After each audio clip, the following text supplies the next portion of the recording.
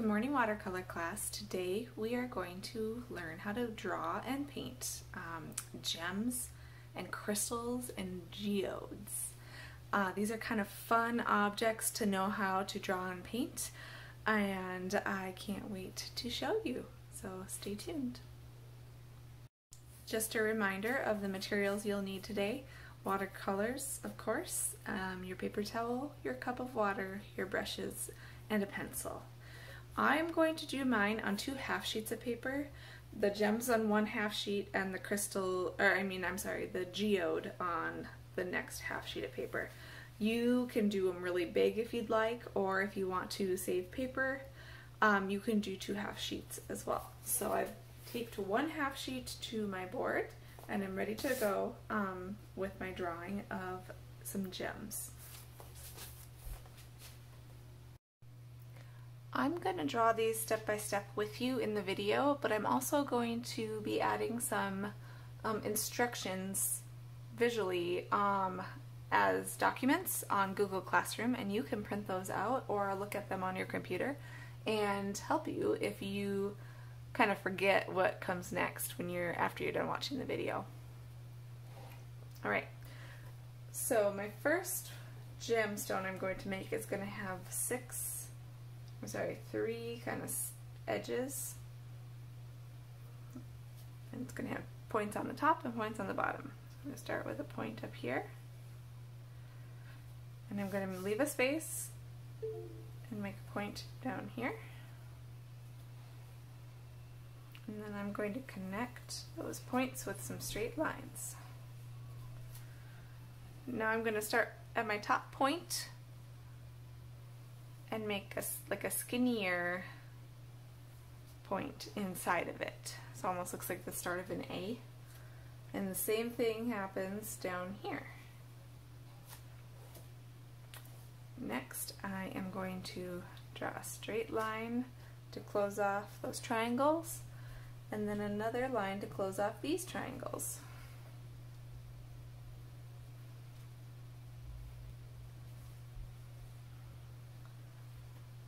Lastly, I'm going to connect at the corners of these triangles with the corners of the top triangles like that.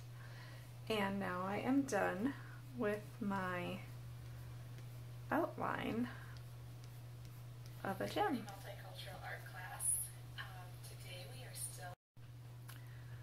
Now we're going to make a different style of gemstone. So we're going to start with trapezoid. A trapezoid shape has two parallel lines and then these lines are going to be not parallel but they would intersect if they touched up here. Didn't think you'd be learning geometry in art class, did you? And then we're going to add a triangle down here.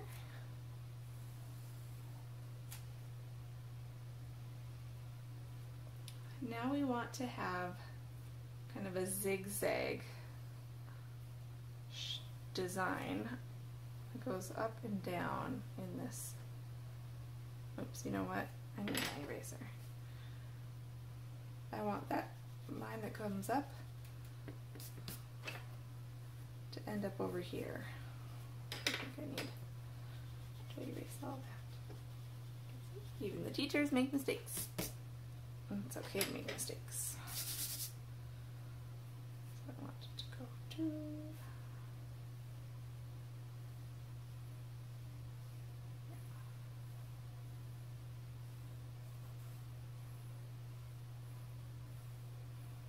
There.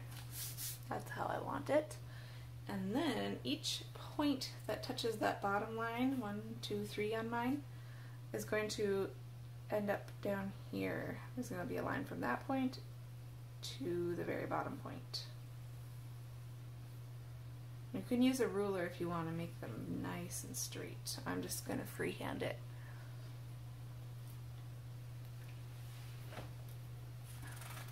Alright, so now we have one of these types of gemstones and one of these types of gemstones. Now we're going to do some painting of them. Actually, I think I'm going to add one more type of gemstone kind of in the middle here. Get rid of these shiny lines because they're in my path.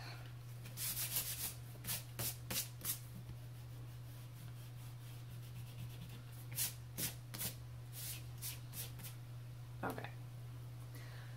So this kind of gemstone is one that is kind of irregular shaped. So it's not necessarily any specific shape. It's just going to have a lot of straight edges.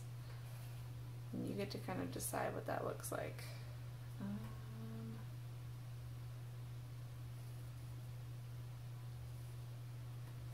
I to up a little bit more. Okay.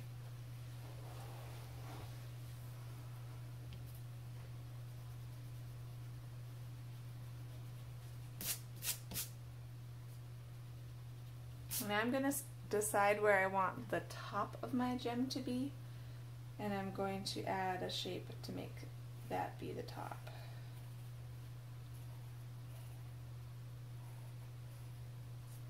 So I want to use straight edges with points like that. That's a, the top of my gem. Now every time there's a point, I'm going to connect those points to the points on my bottom part here.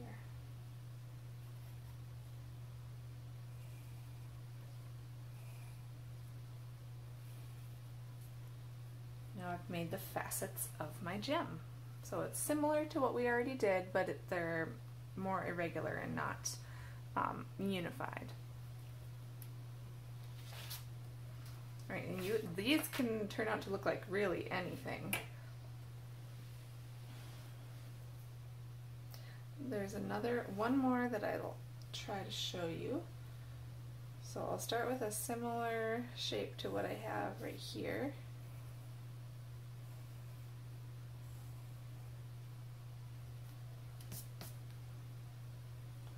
Then I'm going to add some dots first instead of a shape.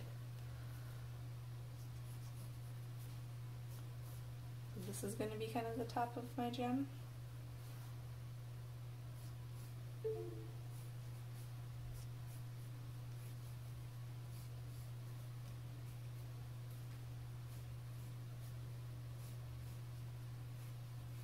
that's another kind of irregular gem as well.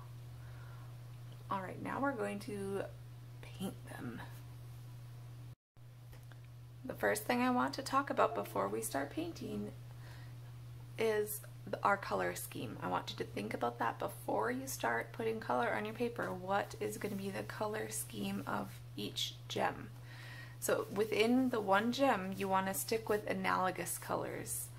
Um, so I think for this gem, I'm going to use some cool colors. I think that purple, this blue violet is going to be my main color. And I'm going to use this like blue violet, blue, and even a little blue green in this one. Maybe some regular violet too, but this is going to be my neighbor colors that my gem is going to be made up of. I want to start like we always do by swirling my brush in the water, tapping it off, getting some paint prepared on my palette.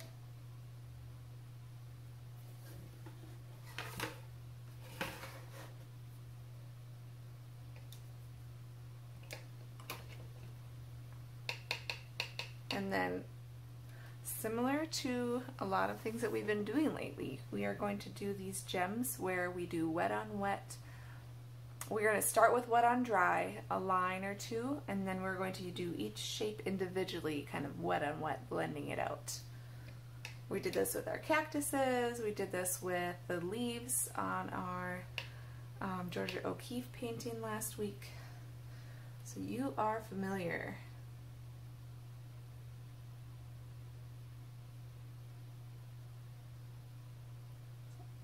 I'm starting with just those two lines. Then I'm cleaning my brush off, just have water on my brush, And I'm only staying in that top shape. I'm using that water to blend out the color. And I'm okay with some kind of white showing because with gemstones, the white is kind of that shine that happens when the light hits it. So the, the more areas where you have it really light and almost white, that'll look like the gem is shiny.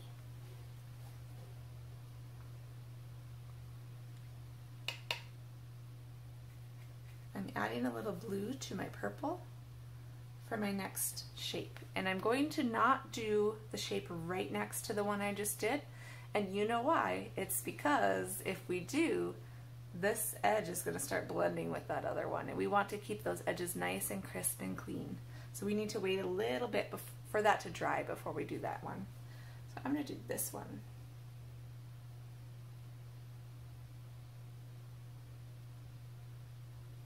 And because it's such a tiny shape, I'm actually going to come up and do this one too. Just so I don't waste my paint.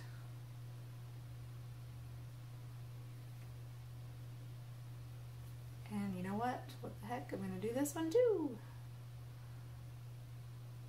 Okay. Rinsing off my brush. Blending out with just a little water paint that I put on.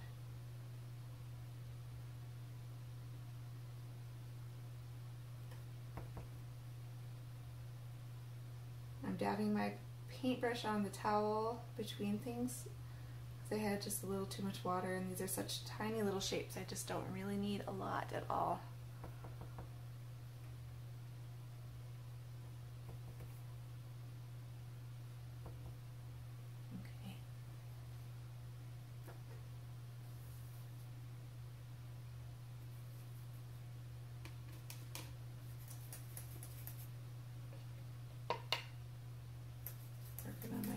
palette to get my colors ready.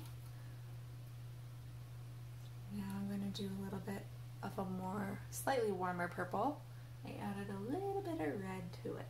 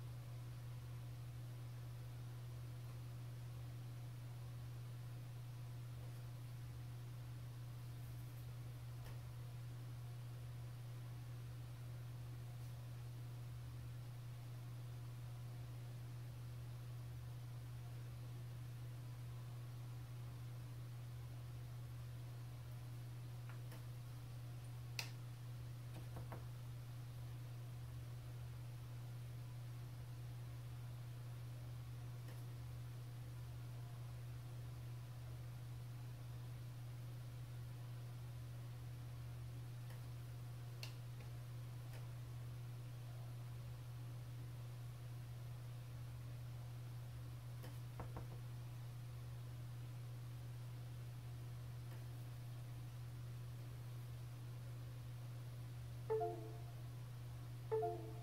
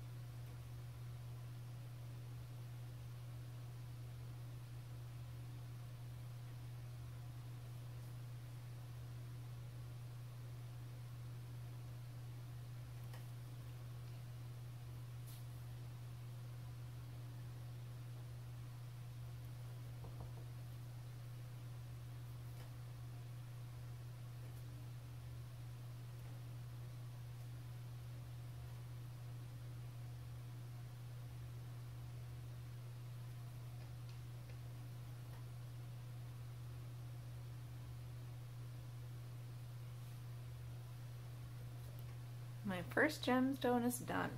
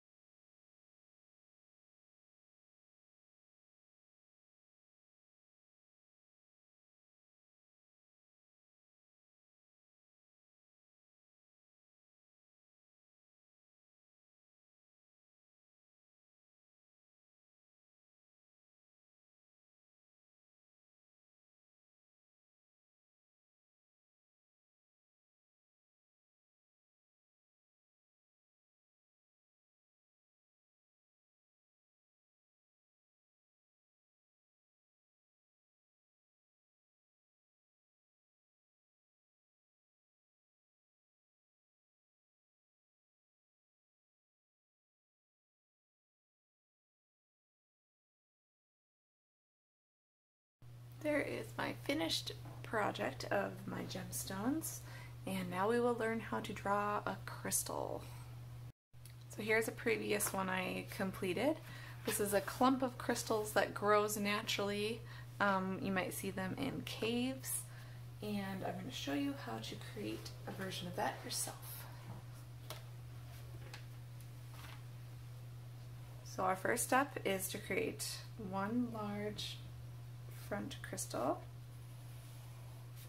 We need two parallel lines and a point on the top. Now we're going to have one coming out from behind it. So part of that one will be covered by the front one.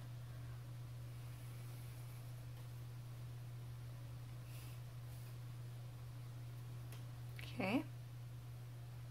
And the third will be coming out a little bit higher up, I've decided. Behind that one.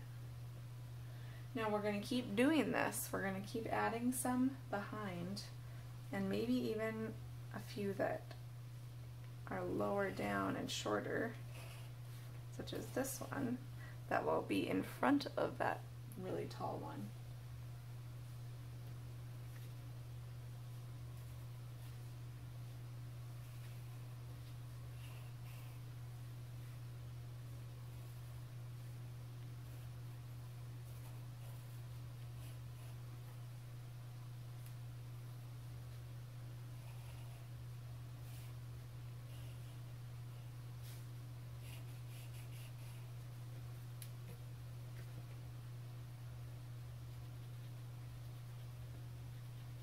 Remember, I'm using a really dark um, pencil because I was hoping that would help you see it, but I want you to draw light till you get it right, and then you can make it darker.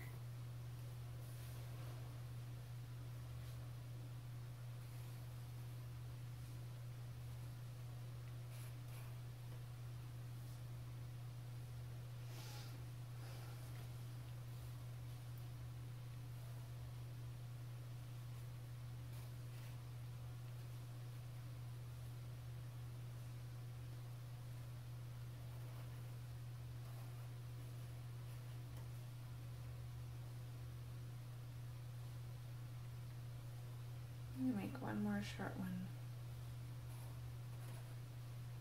down here. Okay. As you can see, they don't, they're not sitting on anything right now. I didn't make the bottoms of them. So what I'm going to do to make the bottoms is make kind of just this kind of lumpy ziggy-zaggy line. That's kind of like the, the dirt or the base that they're growing out of.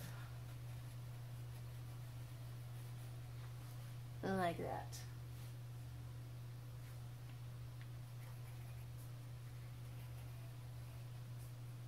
Alright. Now we need to make some lines to make them look more three-dimensional because right now they are very flat. So what we're going to do is we're going to make a dot that's lower than if you were to cross a line there and make a triangle at the top. You want that dot lower than that. And then lines up so it's almost like an extra pointy diamond shape.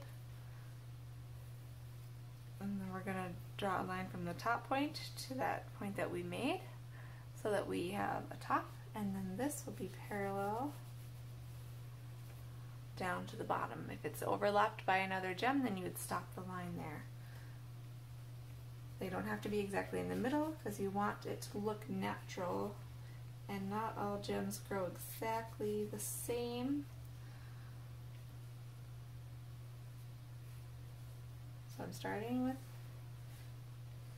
that point and then I'm making my triangles at the top and one line down parallel to these lines. Make sure that they're parallel. One, two, three, one line down. One, two, three, one line down. One, two, three, one line down. One, two, three, one line down. One, two, three.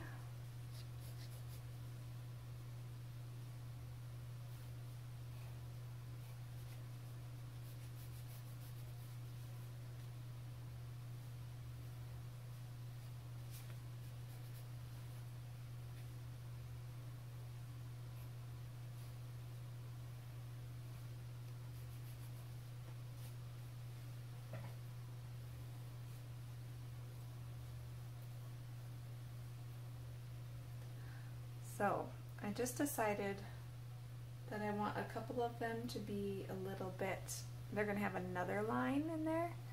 Um, so I'm going to erase. In fact, I want my front one to have an extra facet. So instead of just one dot, you're actually going to make two dots.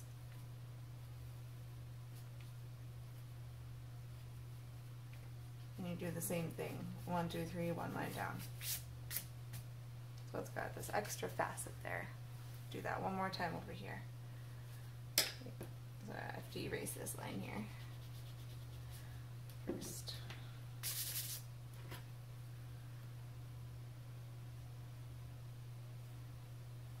One, two, three. One line down. There. So now they've got a couple different facets instead of just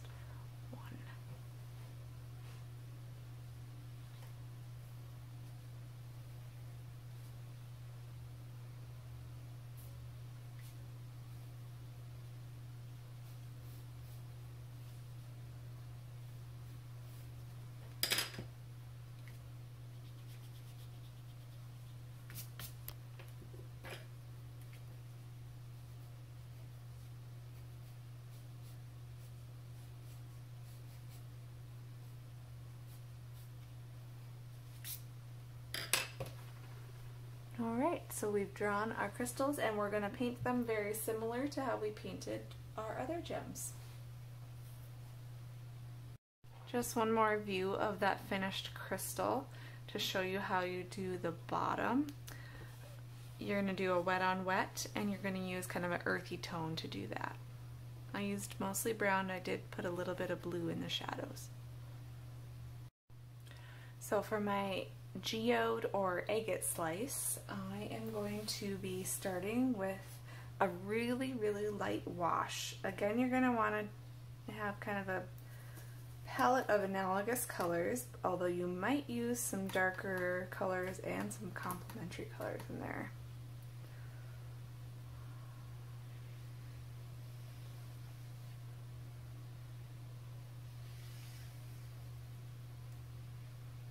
Trying to make my shape look natural.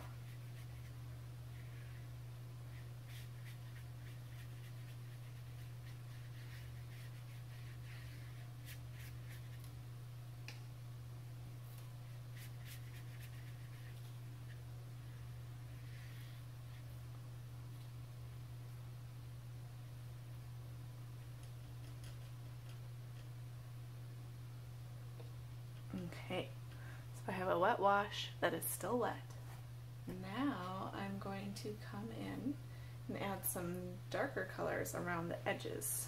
If you look at agates and geodes, I'm not really sure what the difference is to be honest, so if you guys know the difference, please let me know on Google Classrooms.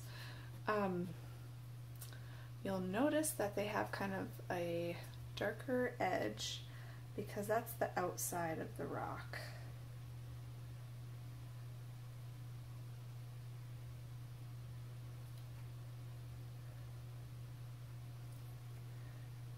Noticing that I'm already starting to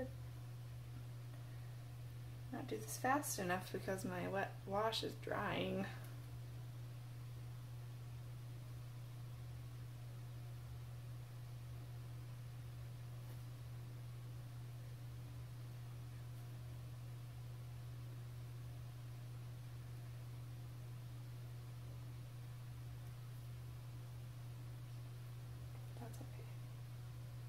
I'm gonna go with it.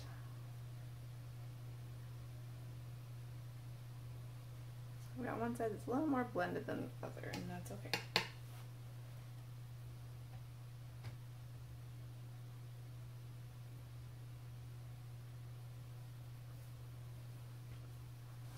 I'm gonna get a darker version of my purple.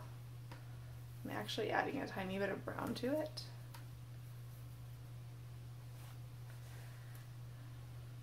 I'm going to go towards the center.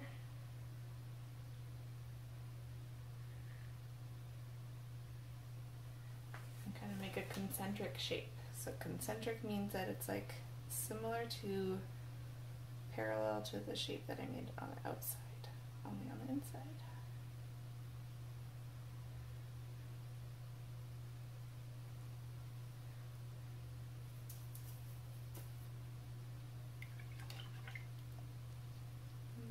My smaller brush now. Add a little bit even more dark darkness to that center thing. And re-wet a couple spots because I want to add some salt. You know, we love adding salt to our watercolors. But it has to be wet or that salt will not do anything. So I'm just straight up taking my salt shaker from downstairs in the kitchen. And I added some salt to that. Now that needs to dry before we move on to the next step. So my watercolor agate is mostly dried and now I'm going to come in with my smaller brush and add some details. Mainly I want to use concentric circles following the contour that I made already. To add those different